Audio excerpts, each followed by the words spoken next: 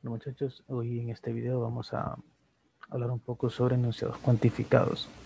Esta, este tema de enunciados cuantificados viene a llenar un hueco que hay en, el, en algunas proposiciones que hemos estado usando y la teoría que hemos construido.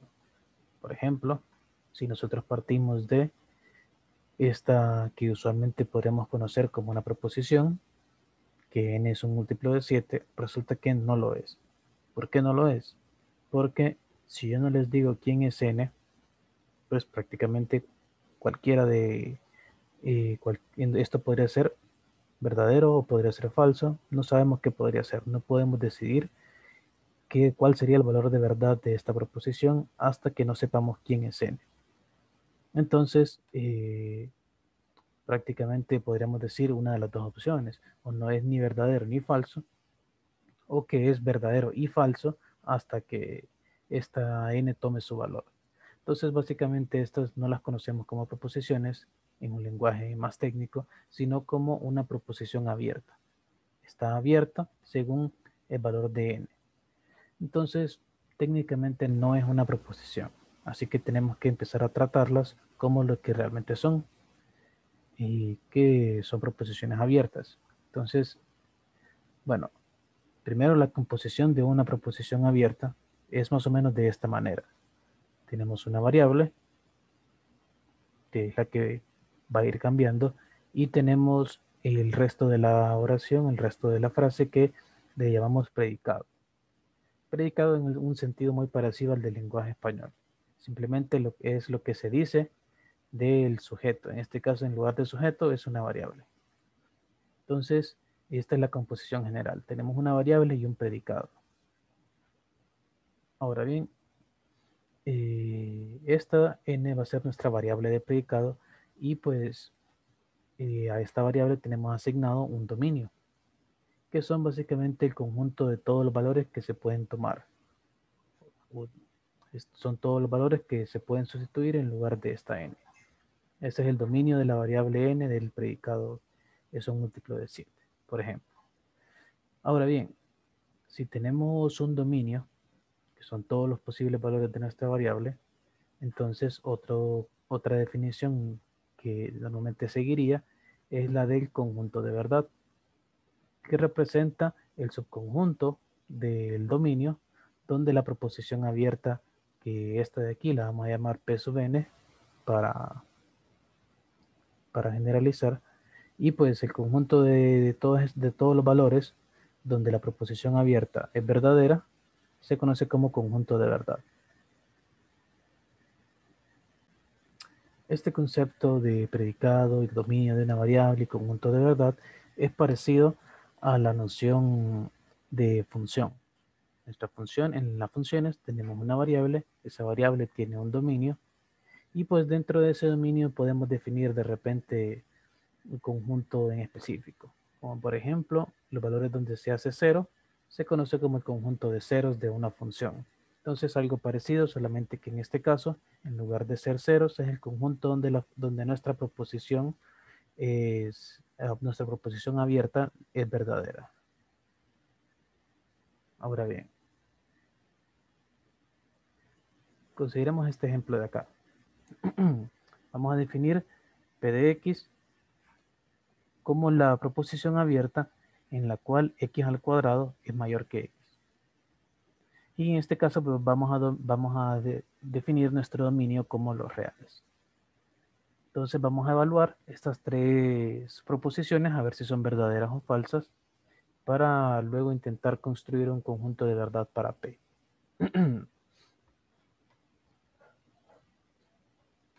Entonces, primero vamos a hacer P de 2. Esto sería que 2 al cuadrado sea mayor que 2. Y esto es equivalente a decir que 4 es mayor que 2. Lo cual es verdadero. Entonces, en este caso, P de 2 es verdadera. Ahora vamos a ver P de 1 medio. P de 1 medio sería decir que un medio al cuadrado es mayor que un medio, que esto equivale a decir que un cuarto es mayor que un medio. lo cual es falso, puesto que un cuarto es, es un 0.25 y un medio 0.5. Ahora, P de negativo, un medio, sería describir que eh, negativo un medio al cuadrado es mayor que negativo un medio. Esto es equivalente a escribir que un cuarto es mayor que negativo un medio y en este caso pues sí es verdadero porque al final de cuentas esta parte derecha es negativa. Entonces eh, ahora nos pide indicar el conjunto de verdad de P. Entonces el conjunto de verdad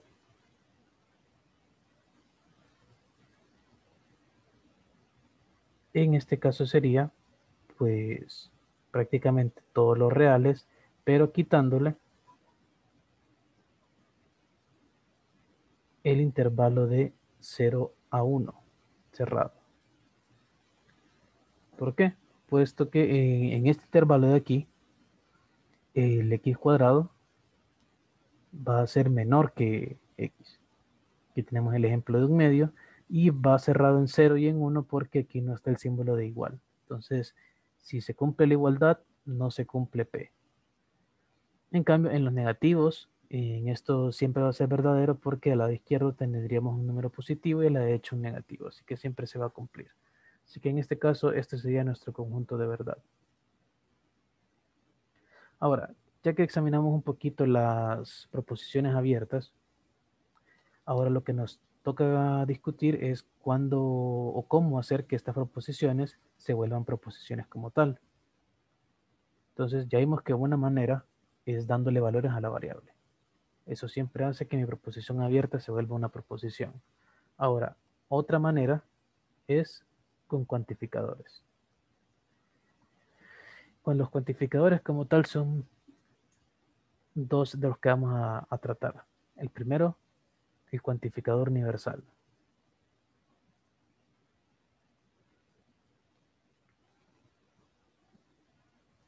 Entonces, ¿cuál es la idea de un cuantificador universal?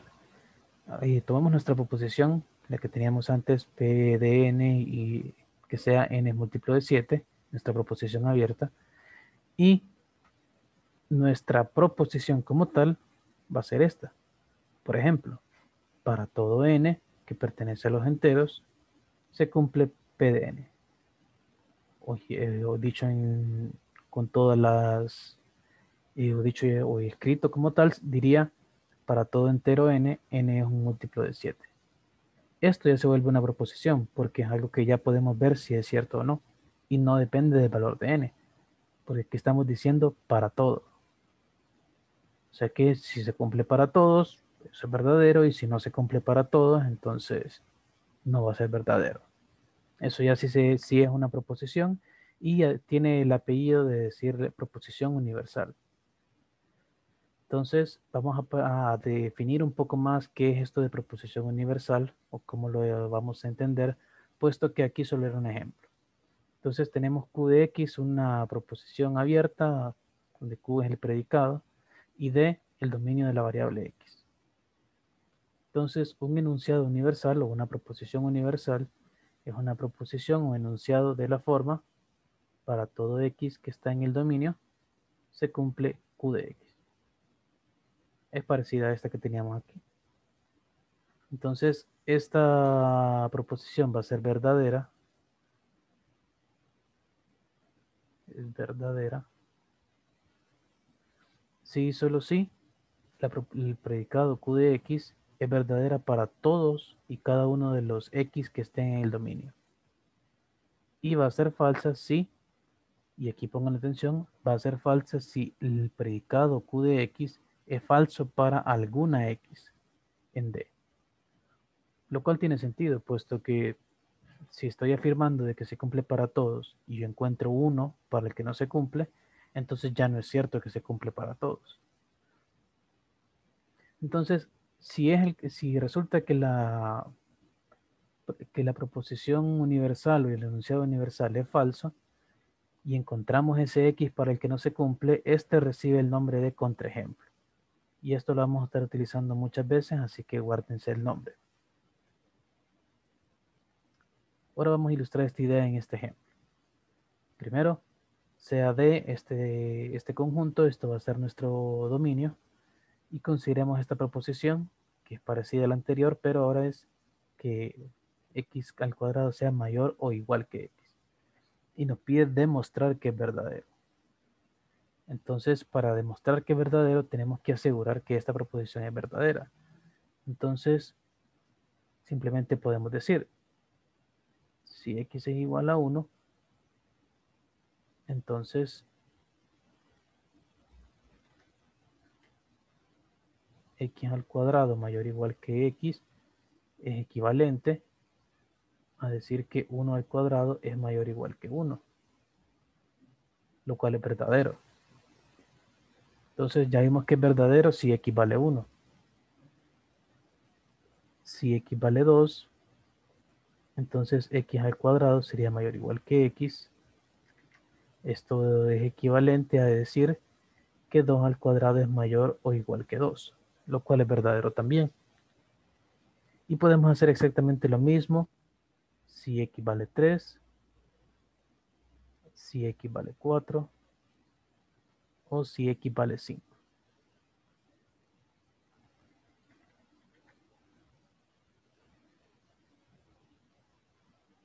Todos estos casos vamos a obtener verdadero. Siguiendo ideas similares aquí. Entonces, este método que estamos utilizando aquí, eh, bueno, todo esto que hicimos nos, hace, nos logran asegurar que para todo x que está en D, x cuadrado mayor o igual que x es verdadera.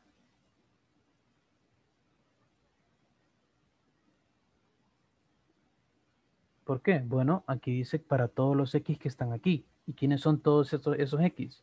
Pues todos estos valores. Y aquí ya los probé todos. Entonces, para todos los x que estaban aquí, el resultado me dio verdadero. Entonces, lo que según la definición, esta proposición de aquí tiene que ser verdadera. Entonces, este método que utilizamos, aquí se utilizó el método exhaustivo.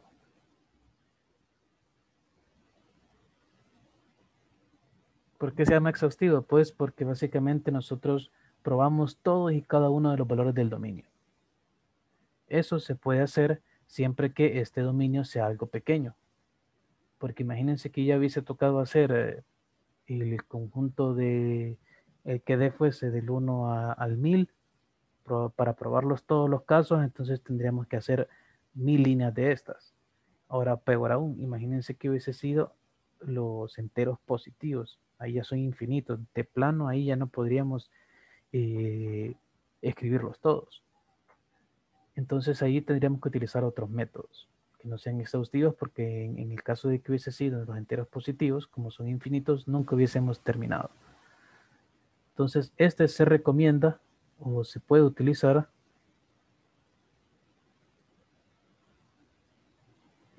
cuando el dominio es pequeño.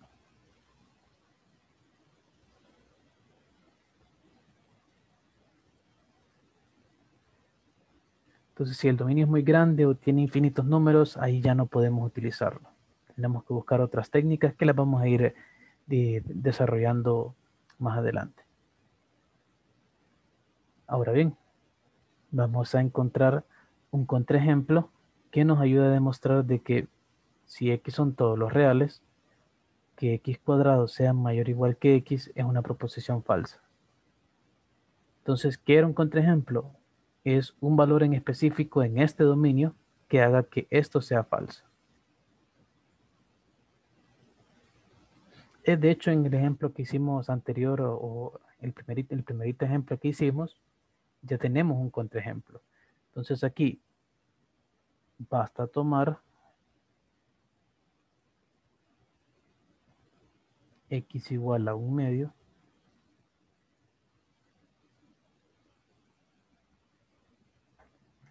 entonces en este caso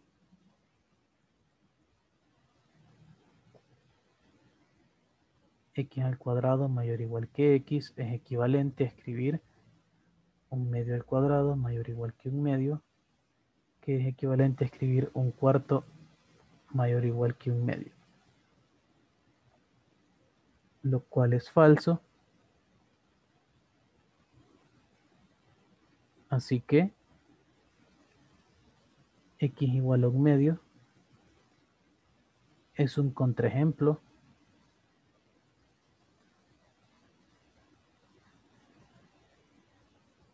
para esta proposición universal.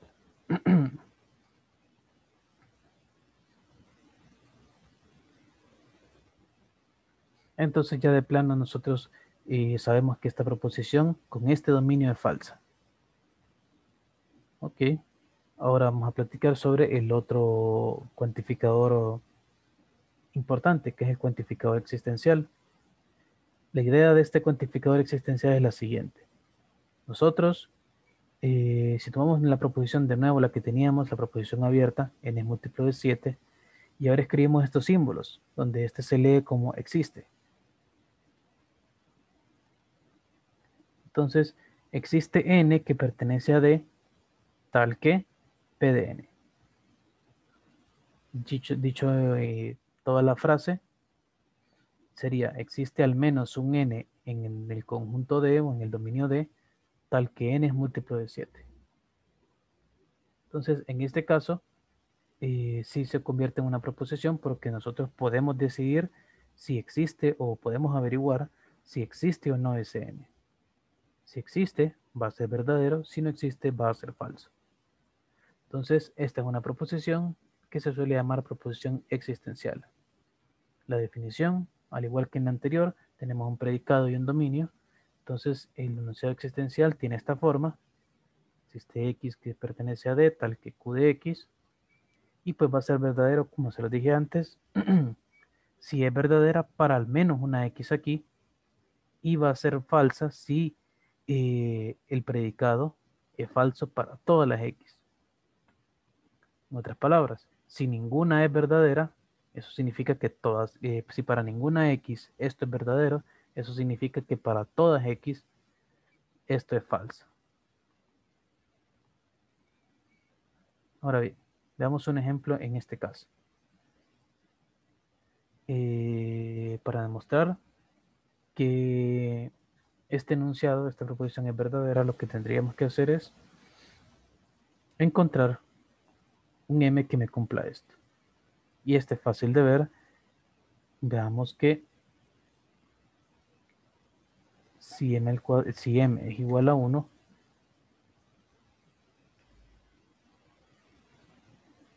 entonces m al cuadrado igual a m, esto equivale a escribir que 1 al cuadrado es igual a 1, que es verdadero. Entonces existe un m entero positivo. ¿Y quién es ese m? Bueno, es 1. Existe un m para el cual esto es verdadero. Por lo que la proposición es verdadera. por lo que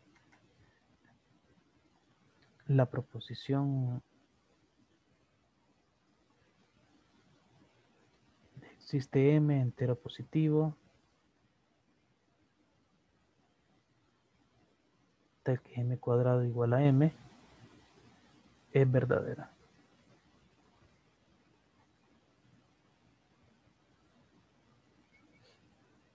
Ahora, en este otro caso, Veamos que de ahora nuestro dominio va a ser este. Va a ser 5, 6, 7, 8. Y tenemos que demostrar que la siguiente proposición es falsa, o sea, esta de aquí. En este caso, pues tenemos que eh, verificar, para ver que sea falsa, tendríamos que verificar que esto no se cumple para ninguna de estas. Es decir, que en todos estos casos, esta frase de la derecha sea falsa. Entonces, esto es fácil de hacer. Simplemente vamos a utilizar el método exhaustivo y decir que si m es igual a 5, entonces m cuadrado igual a m equivale a 5 al cuadrado igual a 5, que es falso. Y pues similarmente lo podemos hacer si m es igual a 6, si m es igual a 7 y si m es igual a 8. En todos los cuatro casos vamos a llegar a que es falso.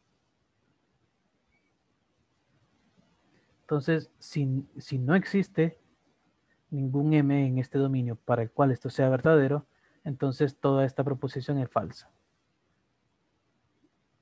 No existe m que pertenece a los enteros positivos, tal, o perdón, que pertenece a E, que es nuestro dominio ahora. No existe M que pertenece a E, tal que M cuadrado se iguala a M. ¿Por qué? ¿Por qué digo que esto no es cierto? No, no existe. Entonces, porque lo que, por lo que hicimos acá. En todos estos casos, y podemos concluir esto. Entonces, esta, esta proposición de aquí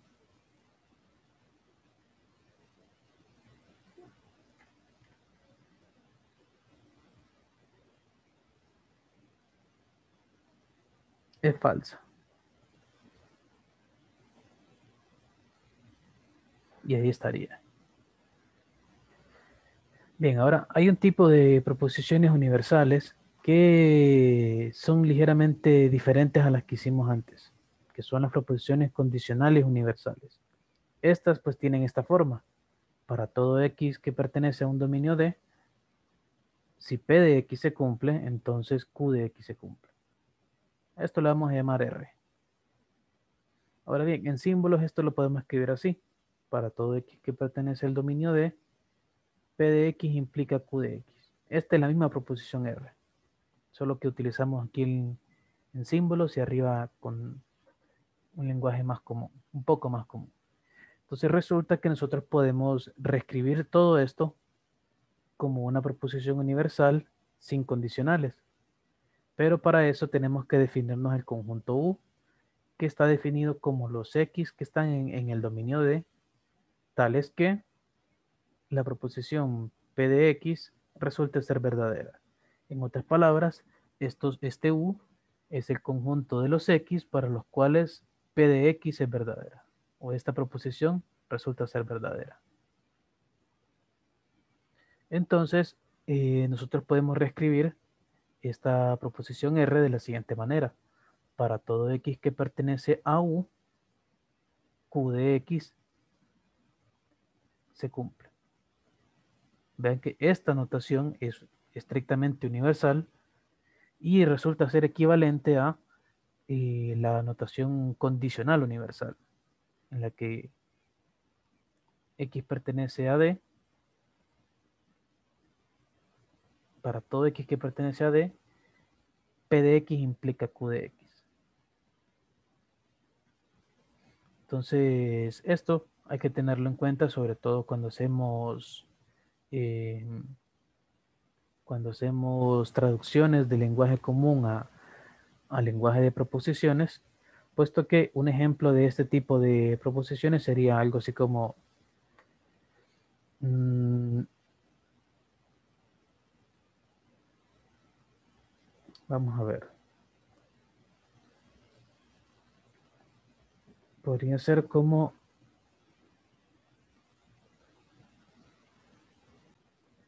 podríamos entenderlo así.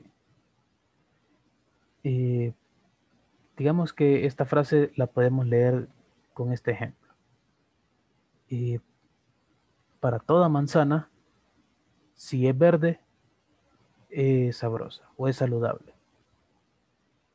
Entonces, ¿cuál sería la proposición de, puesta de esta manera? Pues sería de toda manzana verde es saludable. Entonces aquí se pueden ver la diferencia. Esto es toda manzana, si es verde, entonces es saludable. Y aquí toda manzana verde es saludable. Ambas representan la misma idea, solo que están presentadas de maneras distintas.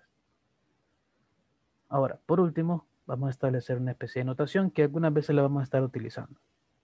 Y es que vamos a escribir que P de X implica Q de X, pero así con esta doble línea, ya no es el símbolo anterior que era así, Ahora es como una doble línea. Y esa lo vamos a hacer para, para decir que para todo x en un dominio, P de x implica Q de x. O sea que esta proposición condicional universal eh, que tenemos aquí, la, vamos, la podemos resumir de esta manera. Y significa lo mismo. Y de hecho, eh, lo que estamos diciendo con esta proposición de aquí es que en realidad el conjunto de P el conjunto de verdad de P de X es subconjunto del conjunto de verdad de Q de X. Y pues la razón es porque si esto, para que esto sea cierto, entonces, si esta primera es verdadera, para que toda la implicación sea verdadera, entonces la segunda también tiene que ser verdadera. Así que no importa el X que yo ponga aquí, si, esta, si esa X hace que P sea verdadera, automáticamente hace que Q sea verdadera. Entonces todos los valores de verdad de, P tienen que estar, y todos los valores del conjunto de verdad de P tienen que, tienen que estar en el conjunto de verdad de Q. Pero no, no al revés. Pueden, puede ser que hayan valores de Q, valores de verdad de Q que, hagan, que no hagan que P se cumpla. Pero bueno, eso es una observación nada más. Y por último, eh, vamos a escribir esta notación que es parecida a la de sí y solo sí, para poder decir que se cumple este, eh, este enunciado, esta proposición universal bicondicional en este caso. Pero es en esencia lo mismo, porque ya sabemos que esta bicondicional no es nada más que una conjunción de dos condicionales de los de arriba. Entonces la notación va a ser esta, con una doble línea aquí en lugar de solo una, y pues en este caso, eh, esto es lo mismo que decir que tanto P como Q tienen exactamente el mismo conjunto de verdad. Entonces, eh, hasta aquí este primer video de cuantificadores, del uso de cuantificadores, y pues vamos a continuar en el siguiente.